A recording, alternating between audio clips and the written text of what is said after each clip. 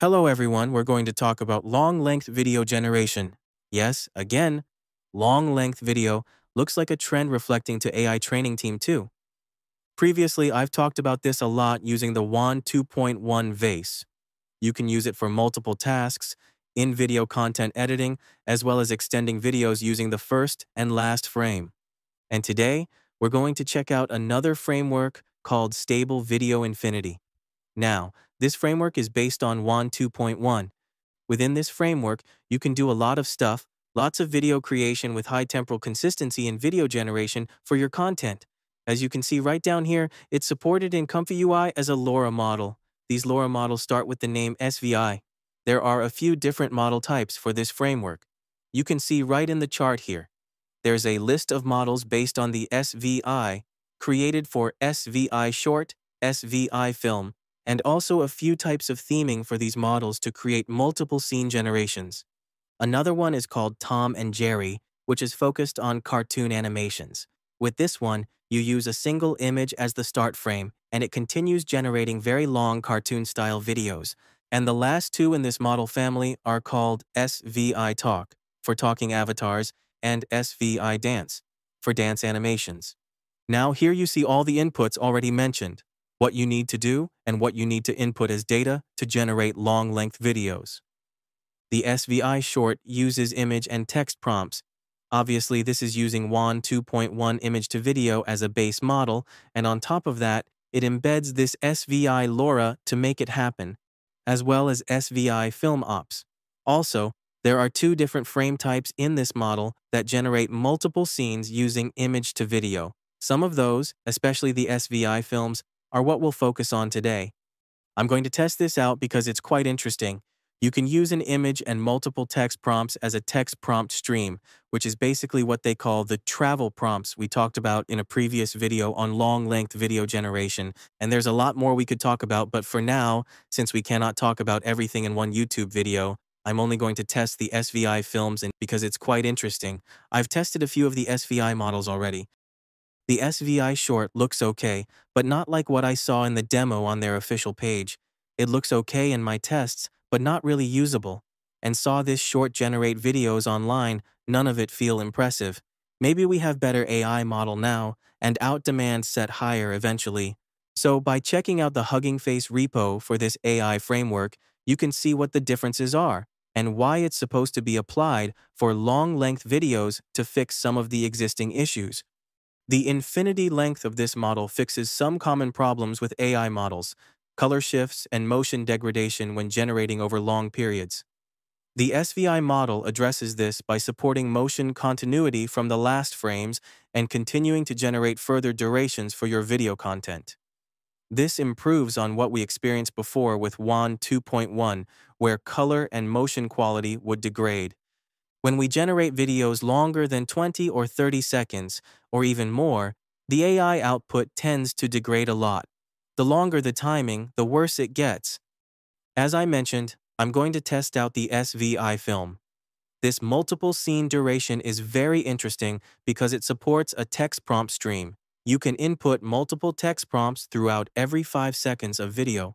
Each 5 second segment handles its own text prompt and together they generate a long-length video animation.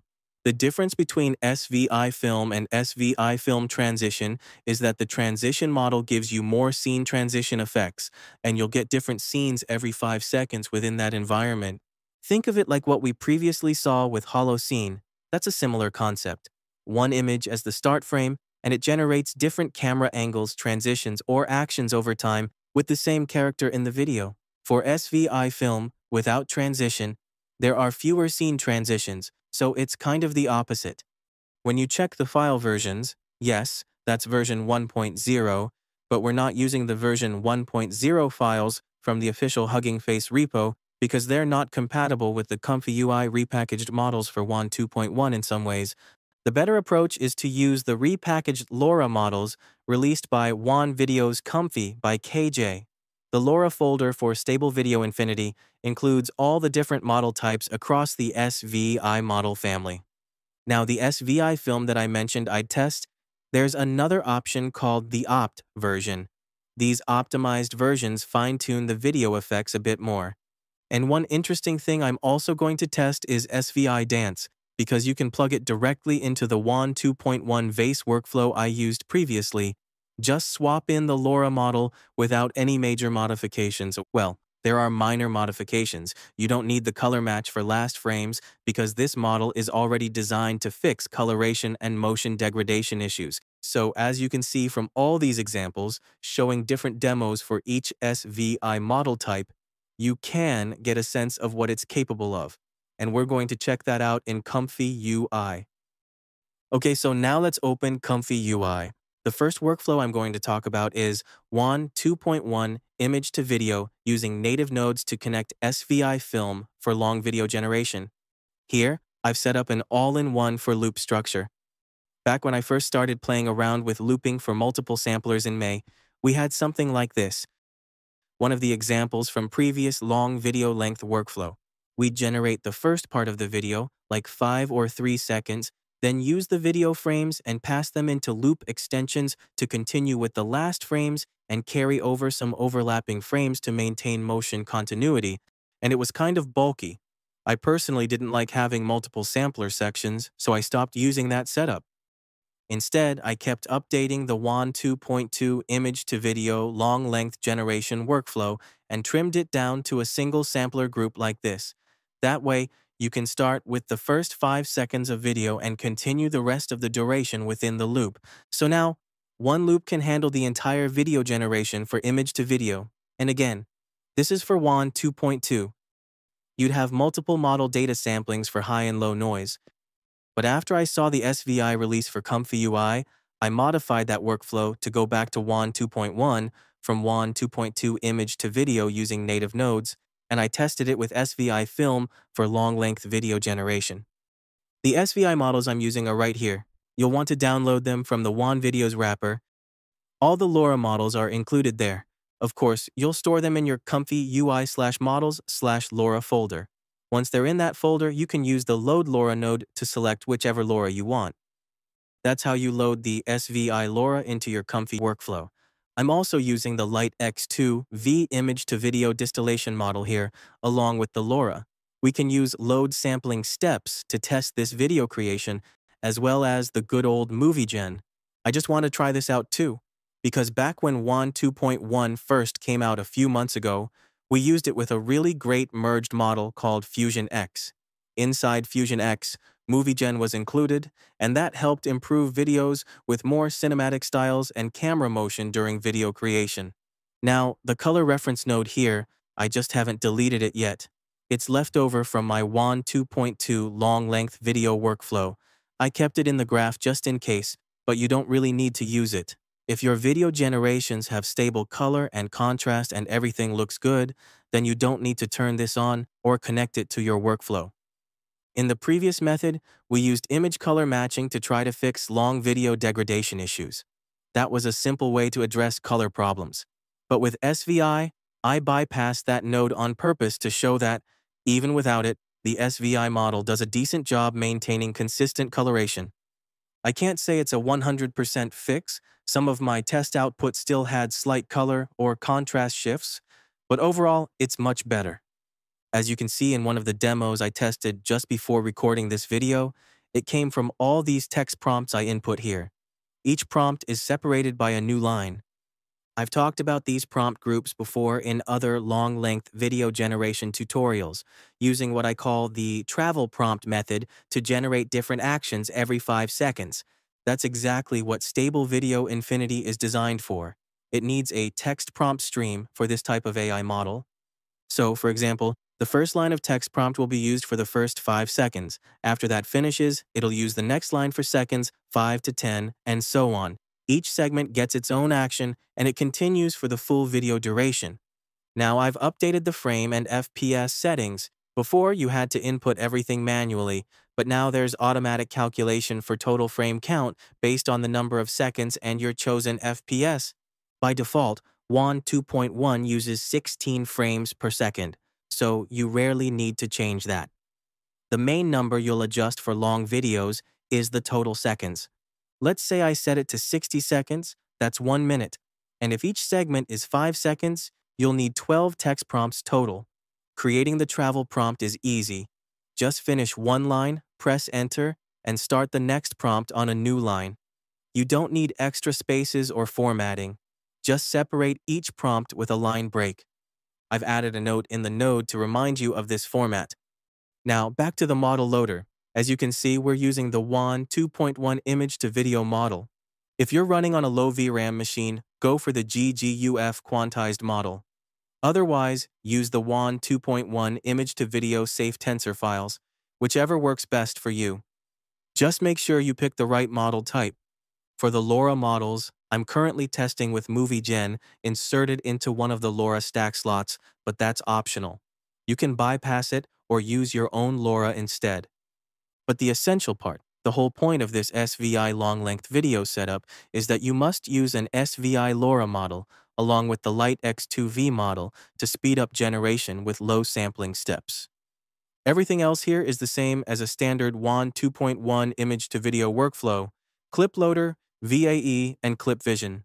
We need Clip Vision because this is image to video generation. Now, for the sampler, I've tried different options like Euler and UniPC.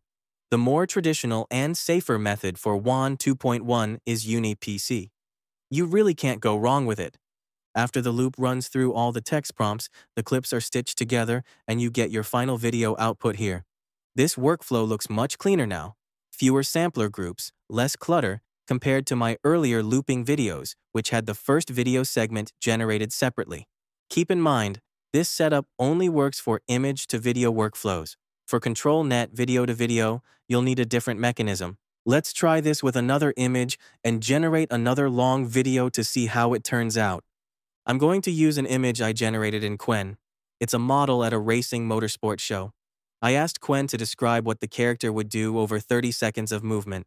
Well, both SVI Film and SVI Short can handle this kind of thing using the SVI LoRa. Speaking of SVI, there's a specific LoRa called SVI Short for steady single-shot videos. That means the camera stays pretty stable or tracks the subject consistently throughout the whole video, but when I tested it, the results felt a bit underwhelming, not very dynamic. I prefer more exciting camera movement or character motion, so I like using the SVI Film Opt model instead. Here are the text prompts Qwen generated using its vision language model. I gave it instructions for a 30-second video with 5-second segments, and it produced this content. I can use this directly as my travel prompts. For the demo, I'll delete the section labels just to keep it clean, but all you need to do is press Enter to start a new prompt on the next line. For this test, I'm going to change the duration to 15 seconds. You can adjust width and height based on your needs. Now, back to the official Hugging Face page, something important to note. SVI Film uses five motion frames from the end to carry over into the next extension. But in Comfy UI, I haven't been able to get that working with five frames yet. The WAN 2.1 image to video node only accepts a single image as input, not multiple frames. So for now, using 5 frames isn't practical unless you add a custom node. Let's run it and see what happens. So after generating the video, you'll notice I accidentally used a different image from the same Qwen batch, but it's from the same scene. The character is still on the motorbike in the same environment, so the actions should work fine. Over these 15 seconds, you can see the generations here. I also ran frame interpolation, boosting from 16 frames per second to 32 frames per second, so the motion looks smoother, and the final result looks like this. Compared to SVI Short, this feels more dynamic. I saw a demo on YouTube from a brilliant AI researcher showing SVI Short in action, and while it looked okay in a continuous sequence, my own tests felt unnatural. The character moved, but the environment didn't feel alive. So I'm not using SVI Short in this tutorial. I prefer SVI Film, and specifically, the frame transition version. Now, the transition model creates something a bit different. Even with the same prompts, you'll get more varied camera angles and scene cuts. Let's test it. I'll copy this result to the side and label it SVI Film. Now I'll generate another one using SVI Film Transition so you can see the difference. Alright, here's the second result. I'll put them side by side and label this one Transition. Both use the same SVI theme and settings. But the transition version gives you more dynamic camera cuts and angles, while the regular SVI film keeps the camera steadier, though still with some motion. Just by swapping the LoRa model, you get a completely different effect. This whole setup uses native nodes, essentially image to video, but we stitch the long video together using a loop, as I've explained in previous videos since WAN 2.1 VACE launched. Over the months, we've refined this loop system, and now it's super convenient. Just one sampler group handles everything. Finally, Let's talk about SVI with ControlNet video-to-video generation. If you've followed my channel, you know we've used WAN 2.1 VACE with ControlNet to create tons of animation combinations. In this updated workflow, based on my previous videos, I've swapped out the usual Fusion X LoRa, which includes CausVid for low-step sampling, because it causes color shifts over long durations. Instead, I'm using SVI Dance, it's designed to solve exactly that problem in video-to-video -video generation. Here, we use ControlNet Pose with WAN 2.1 VACE and a simple sampler to generate the video. The SVI Dance LoRa helps maintain consistency, not just in the character's outfit or hairstyle, but also in coloration, even when generating multiple 5-second batches for a long video. As I've shown before, my WAN 2.1 VACE video-to-video -video workflow uses a simple 1K sampler with DW Pose. According to the official GitHub, SVI Dance requires an image plus a skeleton, which means the DW Pose extracted pose data to guide the character's motion. I'm using an anime character as the style reference, with a TikTok dance video as the motion template, so the pose data drives the movement while the image provides the appearance. Without Fusion X or its diffusion model, there's less color shifting, but I still see a slight shift, especially from warm to cool tones, when I bypass the color match node. I did that on purpose to test if the SVI LoRa alone could maintain color consistency and motion quality. Motion degradation is less of an issue in ControlNet video to video because the pose guides the motion rather than letting the AI invent it, like in image to video or text to video. Still, the color tone drifts a bit, toward bluish hues in this case. That said, the character quality is solid. At 480p, the face isn't super sharp, but the clothing and outfit stay consistent. Honestly, even with plain WAN 2.1 VACE, you can achieve that level of consistency. But I was hoping SVI Dance would further reduce color shifts in long generations. Maybe the implementation isn't perfect yet, or maybe the LoRa just can't fully solve it. But for now, we're using it correctly as a LoRa model. Anyway, there are lots of new fine-tuned models for long videos coming out. If this one doesn't fit your needs, try another. But if it works for you, happy experimenting. All right, that's it for today. I'll see you in the next one. See ya.